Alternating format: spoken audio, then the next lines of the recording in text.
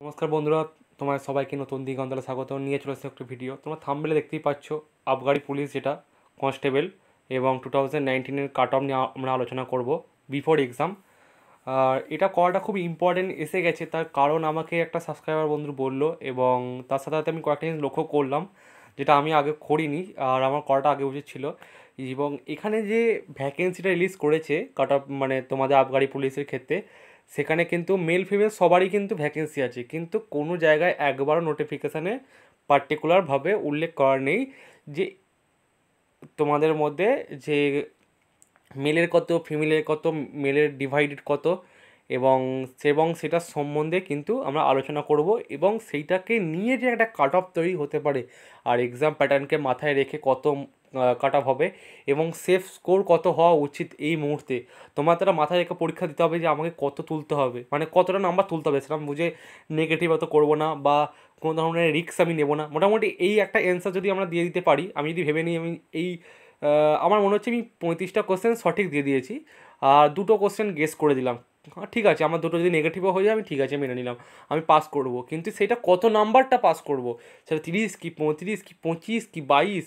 সেটা যদি একটা মাথায় ক্লিয়ারভাবে তোমাদের ঢুকে যায়, তা তোমাদের কোশ্চেন প্যাটার্নে ফলো করতে বা কোশ্চেনে অ্যাটেন্ড করতে অসুবিধা হবে না। আমি তাই জন্য এই ভিডিওটা করছি।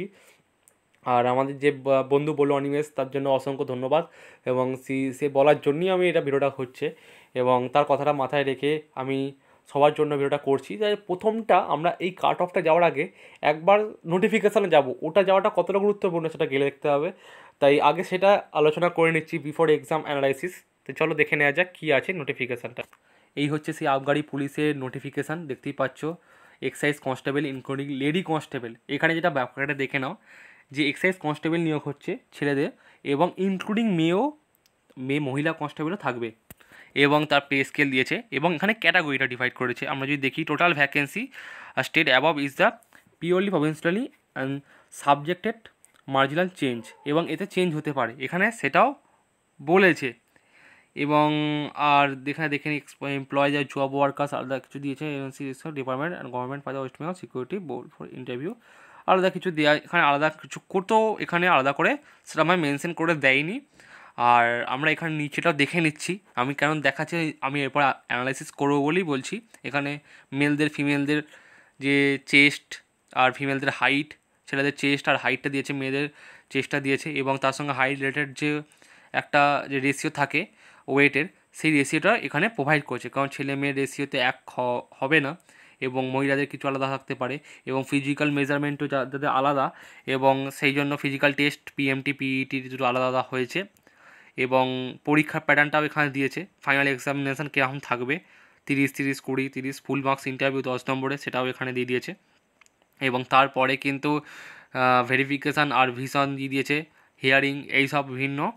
আর অথরিটি বা ট্রেনিং মানে সব কিছু সম্বন্ধে এখানে ডিটেলসে অ্যানালাইসিস করে দিয়েছে এবং ফর্ম ফিল আপটা সর্বনিচে দিয়ে দিয়েছে।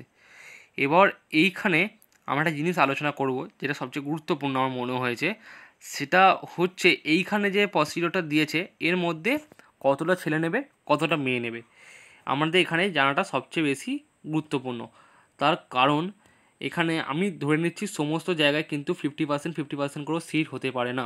কোনো জায়গায় যে সমস্ত সিটকে যদি ফিফটি পার্সেন্ট ডিভাইড করে, প্রশ্ন এখানে চলে আসছে, ধরো আমি উদাহরণটা দিচ্ছি, তাহলে বুঝতে পারবে। ধরো এখানে যদি তিন হাজারটা সিট আছে, আমি ধরে নিচ্ছি তিন হাজারটা সিটের মধ্যে এই তিন হাজারটা সিটের মধ্যে কি ফিফটি পার্সেন্ট যেমন রেলে হয়েছিল ফিফটি পার্সেন্ট মেল আর ফিফটি পার্সেন্ট ফিমেল এটা কি পসিবল না, এটা পসিবল নয়।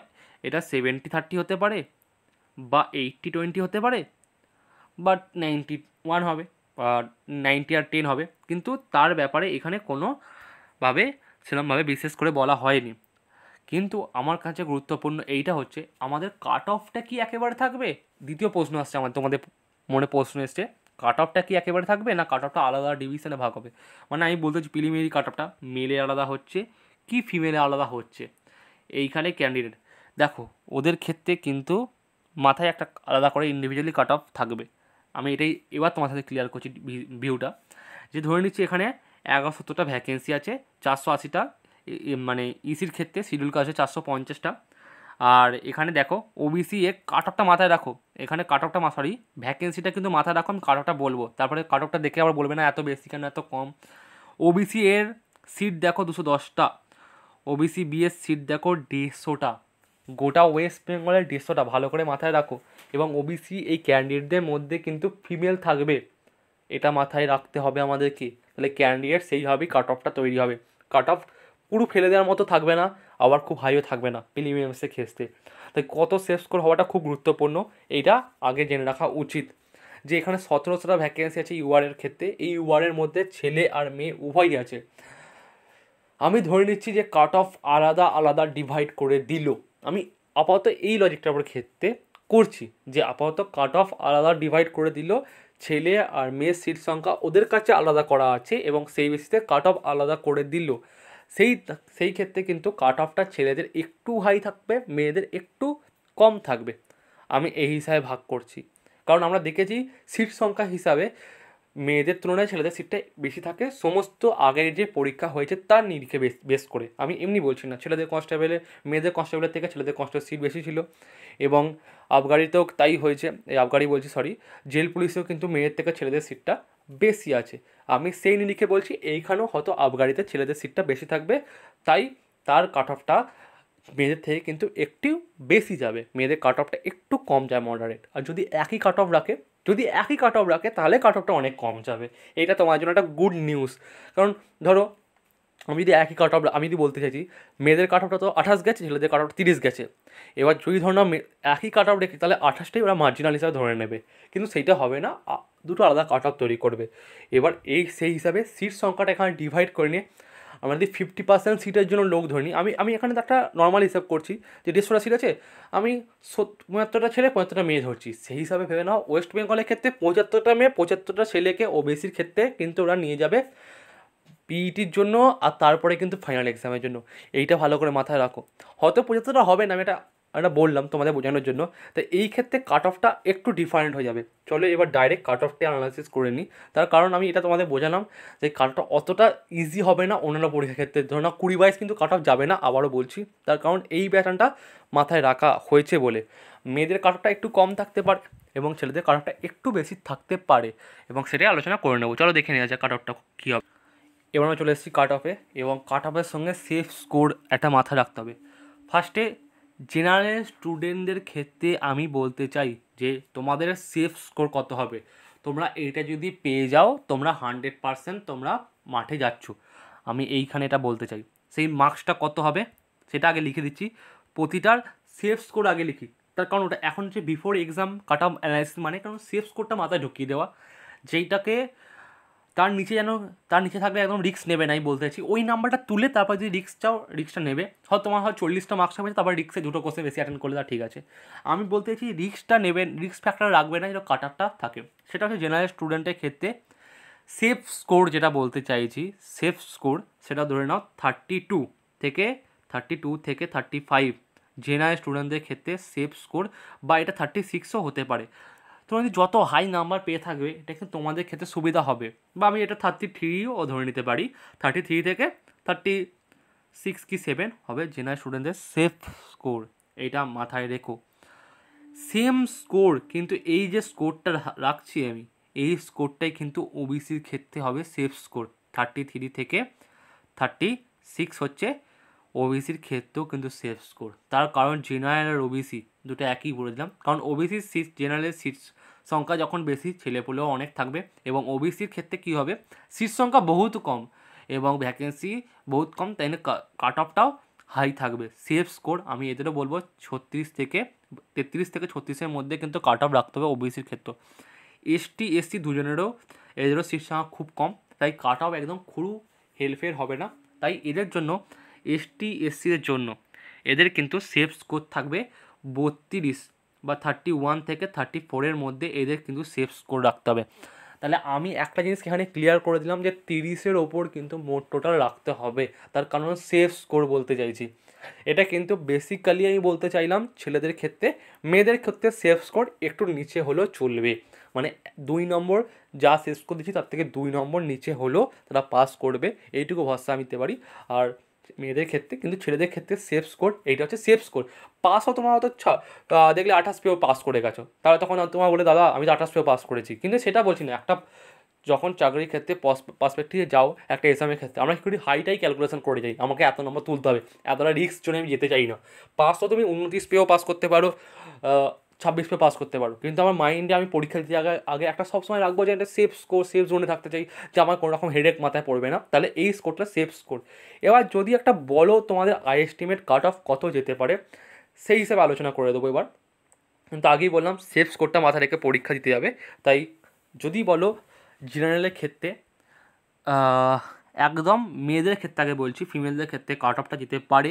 সম্ভবত এটা একদম আইস্টিমেট পরীক্ষা কোশ্চেনের ওপর ডিপেন্ড করে আমি আবার কাট অফ দেবো।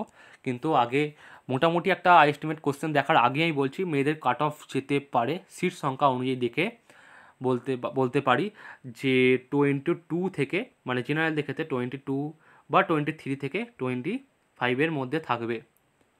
এই হচ্ছে জেনারেলদের কাট অফ থাকছে মেয়েদের ক্ষেত্রে, অবশ্যই।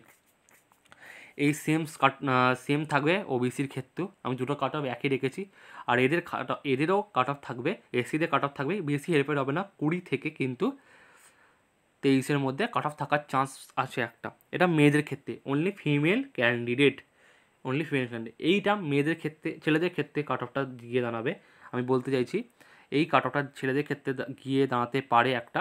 সেটা হচ্ছে জেনারেলদের ক্ষেত্রে বলছি, আঠাশ থেকে তিরিশের মধ্যে কাট অফ থাকতে পারে। এটাও আঠাশ থেকে তিরিশের মধ্যে কাট অফ যাবে।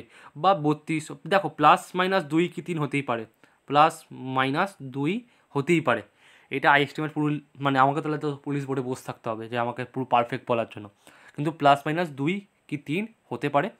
এবং এসটিএসসিদের ক্ষেত্রেও আমি বলছি ছাব্বিশ, বেশি কাট অফ হেরফের হবে না। তার কারণ সিট সংখ্যাটা ওখানে দেখবে দেড়শো, দুশো, আড়াইশো করে সিট আছে। তাই এইখানে পঁচিশ থেকে আঠাশের মধ্যে কাট অফ থাকবে।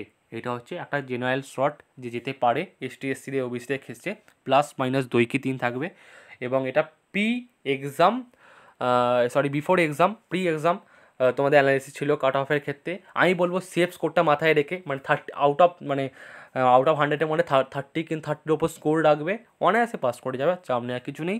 আর সবাইকে পরীক্ষার জন্য best of luck all the best ভালো করে পরীক্ষা দিও, অবশ্যই এসে কেমন পরীক্ষা হয়ে জানিও। আর আমি কোশ্চেন পেপারটা জোগাড় করব, খুব তাড়াতাড়ি করে জোগাড় কর তোমাদের মধ্যে কেউ যদি পাঠিয়ে দেয়, খুবই ভালো। আর আগেরবার একজন পাঠিয়েছে, তাকে ইমেল আইডি দেওয়া ছিল। এবং যদি কেউ পাঠিয়ে দেয়, অবশ্যই খুব ভালো হবে। এবং জানার পরই খুব তাড়াতাড়ি আপলোড করব। আর আশা করছি তোমাদের ভিডিওটা ভালো লেগেছে, তাই লাইক করো শেয়ার করো। বন্ধুদের মধ্যে আর চ্যানেল যদি প্রথম ভিডিওটা দেখে থাকো, অবশ্যই সাবস্ক্রাইব করে দিও। কারণ এই রকম ভিডিও আবার আসবে। কারণ পরীক্ষা হয়ে যাবার সেই দিনকে রাত্রি আবার একটা কাট অফ দেবো। কেন কোশ্চেনের ওপর তোমাদের অ্যাটেন্ডের ওপর নির্ভর করবে আফটার কাট অফটা তাই খুবই গুরুত্বপূর্ণ হবে সেই কাট অফটাও তাই ভিডিওটা ভালো লাগলে অবশ্যই শেয়ার করে দাও বন্ধুদের মধ্যে। যদি প্রথম দেখো ভিডিওটা, অবশ্যই কিন্তু সাবস্ক্রাইব করো আমার চ্যানেলটা আর অল নোটিফিকেশানটা প্রেস করে দিও। Thank you very much for this video